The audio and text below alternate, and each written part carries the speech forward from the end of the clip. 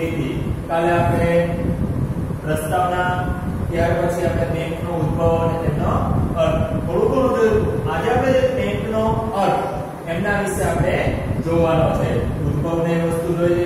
ત્યાર પછી બેંકનો અર્થ એમના વિશે જોઈએ. કાલે આપણે જોઈ થોડું રિપીટ કરીએ કે આપણે જે કઈ કામ ધંધો કરીએ છીએ, આપણે જે કઈ બચત જે છે, એ આપણે કેમાં? તો કે બેંકમાં જમા કરાવીએ છીએ. ત્યાર પછી ઘણી બધી આપણે લેવડ દેવડ બરાબર છે? બેંકમાં આપણા પપ્પા, આપણે, આપણા દાદા કે લેવડ દેવડ, માનો કે જ્યારે જરૂર પડે ત્યારે આપણા જે બચત મૂકેલી છે એ આપણે આપણા એકાઉન્ટ એટલે કે ખાતામાંથી આપણે લઈએ છીએ.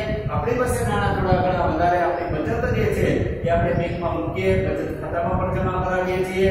આવો આપણે થોડું ઘણું જોયું. ત્યાર પછી આપણે એ પણ જોયું કે જ્યારે બેંકનો ઉદ્ભવ જ નહોતો બરાબર છે? ત્યારે વિનિમય પ્રથા, વિનિમય કોને કહેવામાં આવે છે? તો કે વિનિમય એટલે ચીજની એક ચીજ વસ્તુના બદલામાં બીજી ચીજ વસ્તુની આપલે કરવી. એ વિનિમય પ્રથા પણ હતી. તો એમના વિશે પણ આપણે થોડું ઘણું જોયું કે ભાઈ સાટા પદ્ધતિ અથવા તો વિનિમય પદ્ધતિ એક ચીજ વસ્તુના બદલામાં બીજી ચીજ વસ્તુને આપવી. હવે આપણે જોઈએ કે બેંકનો અર્થ આજે જોઈએ. તો બેંકિંગ સેવા આપતી સંસ્થા એટલે કે બેંક. બેંકોને કહેવાય તો કે આપતી સંસ્થાને બેંક કહેવામાં આવે છે. માંગવામાં આવે એટલે કે નાણાં પરત કરવાની શરતે ધિરાણ કરવાના હેતુથી બચતો એકત્રિત કરતી સંસ્થાને બેંક બેંક કહેવામાં આવે છે. કોને કહેવામાં આવે? તો કે બેંક. બેંકિંગ સેવા એટલે કે માંગવામાં આવે. એટલે કે નાણાં પરત કરવામાં માટે જે આપણે રકમ મૂકી છે, બરાબર, એ પાછા આપણે નાણાં પરત કરવાની શરતે આ આપણે કિંમત એકમ મૂકેવા પછી એમ કે હવે ભૂલી જાજો. એટલે ના, એ ભૂલવાના નથી. એ પાછા આપણે શું? તો કે એ નાણાં આપણે પરત, બરાબર, કરવાની શરતે. અને ધિરાણ આપવાની. ધિરાણ એટલે કે લોન આપવાના. હેતુથી બચતો એકત્રિત કરતી સંસ્થાને શું કહેવામાં આવે છે? બેંક કહેવામાં આવે છે. જોઈએ બેંકનો પાછળ, બેંકનો અર્થ એટલે શું માંગવામાં આવે. એટલે કે નાણાં પરત કરવાની શરતે, આપણે જે નાણાં મૂક્યા છે, એ પાછા નાણાં આપણે જરૂર પડે છે ત્યારે રિટર્ન કરે છે, એટલે આપણે આપે છે. અથવા તો આપણે જે મુદત આપણી પાસે જે નાણાં મૂકે, એમના ઉપર આપણે જે ધિરાણ એટલે લોન કરવાના હેતુથી બચતો એકત્રિત કરતી સંસ્થાને બેંક કહે છે. બેંક એટલે કે નફાના હેતુથી કાર્ય કરતી એવી ધંધાકીય સંસ્થા, હા બેંક શું તો કે નફાના હેતુથી એવું કોઈ એવું કોઈ એક જ રીતે ન હોય કે આપણે જે છે એ નુકસાન કરે. નફાના હેતુથી કાર્ય કરતી એવી ધંધાકીય સંસ્થા છે પ્રજાની પદ્ધતિઓને થાપણ તરીકે સ્વીકારે. આપણે જે નાણાં ત્યાં મૂકીએ છીએ એટલે ક્યારા તરીકે, તો કે થાપણ તરીકે ત્યાં સ્વીકારવામાં આવે છે. તેના બદલામાં, હા, શું આપણે ત્યાં આપણા નાણાં સાચવી દીધા છે? એટલું જ છે? ના, નાણાં ઉપર શું? આપણે વ્યાજ આપે છે તે નાણાં આપણે સાચવે. વળી તે આપણમાંથી જે લોકોને જરૂર હોય. માનો કે એક વ્યક્તિ નાણાં મૂકી ગયો છે. બરાબર છે, ત્યાં એને જમા કરાવે કે એની સાચવે. પ્લસ, એના ઉપર એ વ્યાજ આપે. પણ બીજા વ્યક્તિને એમની જરૂરિયાત છે.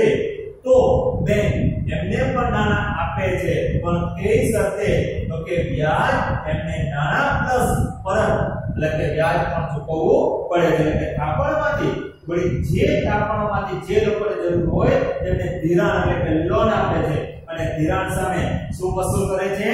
તો કે વ્યાજ, બરાબર છે? વસૂલ કરે તથા અતિરિક્ત, એટલે કે નાણાં દેશના વિકાસ માટે વિવિધ ક્ષેત્રોમાં રોકાણ કરે છે. હા, ત્યાર પછી જે બચત તરીકે થાપણ મૂકેલી છે, એમાં શું?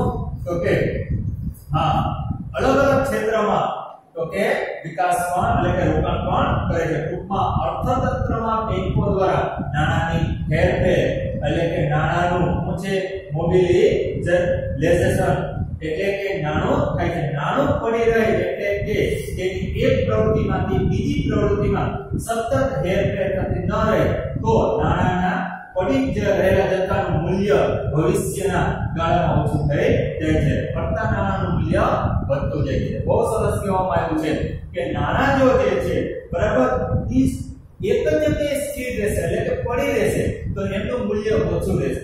પણ હંમેશા નાણું ભરતો રહેશે, તો નાણાંનું મૂલ્ય એટલે કિંમત વધતી રહેશે. આ હતો વર્ગીકરણ કેવી રીતે છે? નાણાનું વર્ગીકરણ કઈ રીતે આપણે રીતે જોઈએ? કે સામાન્ય રીતે બેંકોના બે પ્રકાર હોય છે. વાણિજ્ય એટલે કે વેપારી બેંક અને ત્યાર પછી મધ્યસ્થ એટલે કે તટસ્થ, મધ્યસ્થ બેંક. જોઈએ. હવે વેપારી બેંક. આમાંથી આપણે જોઈએ. વેપારી બેંક. જોઈએ. ભારતમાં 1949 ની એટલે કે બેંકિંગ કંપની ધારા મુજબ જોઈએ તો કે વેપારી બેંક એટલે એવી સંસ્થા, શું કહેવામાં આવે છે? વેપારી બેંક એટલે કે એવી સંસ્થા કે જે બેન્કિંગ અંગેના વ્યવહારો કરે, એટલે કે દેશમાં રોકાણ વધારવા માટે પ્રજાની થાપણો સ્વીકારે. કોની થાપણો તો કે પ્રજાની થાપણો એટલે કે જે બચત છે સ્વીકારે. જે ગ્રાહકોને જરૂર પડે ત્યારે ત્યારે પાછી મળે અને જેમાંથી જે ડ્રાફ્ટ પે ઓર્ડર વગેરે દ્વારા ઉપાડી શકે. તેમને કઈ શું કહેવામાં આવે છે?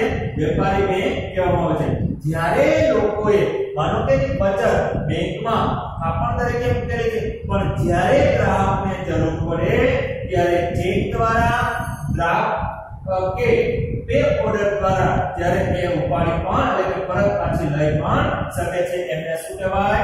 વેપારી બેંક પણ કહેવામાં આવે છે. જોઈએ વેપારી બેંક ધંધાદારી એકમ છે અને નફા માટે કાર્ય કરે છે. સો એ સેવા તો કરે છે. હા, આપણે મુદત પણ સાચવી લે છે બરાબર? એના ઉપર આપણે વ્યાજ પણ આપે. જ્યારે લોકોને જરૂર છે, બરાબર છે? ત્યારે એને ધિરાણ પણ આપે છે. હા, એ આપણી સેવા તો કરે છે અને સાથે સાથે પોતે નફાના હેતુથી એ કાર્ય પણ કરે છે. પ્રજા પોતાની બચતો આવી બેંકમાં જમા કરાવે છે અને જેને બેંક એટલે કે ખાપણના સ્વરૂપમાં સાથે છે. આપણે જે બચત કરેલી છે એ પ્રજા. પ્રજાને તો કે મૂડી એટલે કે રકમ છે મુદત છે ક્યાં તો કે બેંકમાં સાચવે તો છે. બરાબર છે? હા. અને ત્યાર પછી જીને એટલે કે બેંક થાપણના સ્વરૂપમાં શું કે સ્વીકારે છે અને તે થાપણો બે અન્ય કાર્યમાં રોકે. અન્ય એટલે કે જુદા જુદા કાર્યમાં રોકે. એક રીતે બેંક પ્રજાના પૈસા અન્ય આર્થિક એટલે કે નાણાકીય પ્રવૃત્તિમાં વધારે છે. અને તેથી પ્રજાને તેના બદલામાં એટલે કે આપણો પર શું? તો કે વ્યાજ પણ ચૂકવે છે. આ ડબલ ફાયદો પ્રજાના પૈસાનો તો કે સાચવે પણ છે. એક બીજો એ જે થાપણ છે એટલે કે જે નાણાં મૂકેલા છે, એમના ઉપર પ્રજાને વ્યાજ પણ ચૂકવે છે. હવે જોઈએ તો થાપણોનું બેંક કોઈ ક્ષેત્રમાં રોકાણ કરે હે તો બેંક શું એમએમ સાચવે છે? ના બેંક પણ એ સતત પ્રવૃત્તિમાં એટલે કે ફેરવતો રહેશે. એટલે કે કોઈ પણ રોકાણકાર કરી શકે, જેમ કે ખેતી કે ઉદ્યોગના વિકાસ માટેના કાર્યક્રમોમાં વાપરી શકે છે. આ ઈ બીજાને એટલે કે ખેતી ક્ષેત્રે, ઉદ્યોગ ક્ષેત્રે બીજાને ધિરાણ એટલે કે લોન આપે છે. એમના ઉપર એ વ્યાજ વસૂલ કરે છે. બરાબર? અથવા તો સરકારની જામીનગીરીઓ ખરીદી શકે અથવા તો જે લોકોને રૂપિયાની જરૂર હોય તેવા લોકોને ધિરાણ એટલે કે લોન પણ આપે. સરકારની કઈ જામીનગીરી પણ ખરીદી શકે. હા, અથવા તો જે લોકોને રૂપિયાની જરૂર છે તે લોકોને પોતે શું તો કે ધિરાણ એટલે કે લોન તરીકે આપે છે. ફરી પાછું લોન તરીકે જ આપે. જ્યારે નાણાં ચૂકવે, ત્યારે એ જે લીધેલા નાણાં પ્લસ એના ઉપર વ્યાજ, જે લોકો ધિરાણ એટલે લોન તરીકે લઈ ગયા છે, એમને પણ ચૂકવવું પડે છે. રોકાણ કરે ત્યારે બેંકને નફો કે આવક મળે છે અને ધિરાણના બદલામાં બેંક વ્યાજ વસૂલ કરીને કમાણી કરે છે, રોકાણ કરે. એને બેંક શું? તમે નફાના રૂપમાં નાણાં એટલે વ્યાજ ચૂકવે. જ્યારે ધિરાણ લે છે જે તે લોકો એ શું? તો કે બેંક એમના પાસેથી નફો કરે છે. બરાબર છે? હા, વ્યાજ ઓછું હોય છે, પણ ધિરાણ જે લે એના ઉપર વ્યાજ વધુ, એટલે કે આ લોન એના ઉપર વ્યાજ વધુ હોય છે. આમ, એટલે કે વ્યાજ વસૂલ કરીને કમાણી કરે છે. તો થાપણો સ્વીકારવા માટે જે વ્યાજનો દર બેંક આપે છે કોણ આપે છે? બેંક આપે. તેના કરતા ધિરાણ પર ઊંચો વ્યાજનો દર વસૂલ કરી બેંક નફો કમાય છે. શું કમાય છે? નફો કમાય છે. આમ બેંક ધંધાદારી સંસ્થા છે. બેંક છે કઈ સંસ્થા છે? તો કે ધંધાદારી સંસ્થા છે. બીજા શબ્દોમાં, બેંકો નાણાંની હેરફેર કરીને નફો કમાવા માટે ધંધો કરે છે. શું એક જગ્યાએથી બીજી જગ્યાએ નાણાંની સતત હેરફેર કરે છે, બરાબર? તેથી જ તેને વેપારી બેંક કહેવાય ફરી પાછા બે મુદ્દા જોઈએ.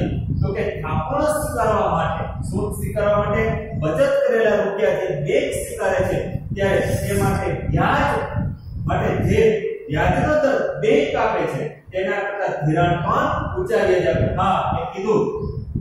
કે તમે જે મુદત મૂકી છે, એના ઉપર નફા સ્વરૂપે તમને વ્યાજ આપે. પણ જે લોકો ધિરાણ પર, તો કે બેંક એટલે કે લોન લે છે, એના ઉપર ઊંચો વ્યાજ દર વસૂલ કરી બેંક નફો કમાય છે. આ બેંક ધંધાધારી સંસ્થા છે. બીજા શબ્દમાં કહીએ તો બેંકો નાણાંની હેરફેર કરીને નફો કમાવા માટે ધંધો કરે છે. અને તેમને વેપારી બેંક પણ કહેવામાં આવે છે. બસ મિત્રો આજે આપણે રાખીએ આભાર.